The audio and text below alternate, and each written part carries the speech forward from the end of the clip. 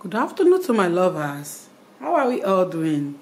In this video, I'm going to be presenting to you how we massage our ribs uh, and also our hip. A little bit pain that we're having there. So we are looking for something that will re release it up and actually where we are is a little bit too much cold guys you need to find out what is actually useful for your children especially where you are living is cold area or something that will always you know that your child will not be always warm. You need to keep them warmable in your home so that the cold will not enter their ribs it will not enter anywhere part of their body. And today is a lesson to teach how to achieve a good feelings in your ribs and also your uh, uh, your spinal, your just down of your hip spinal. That's what we are going to see, what we are going to achieve. So guys, let's keep keep on yet massage so that we get you see what I mean.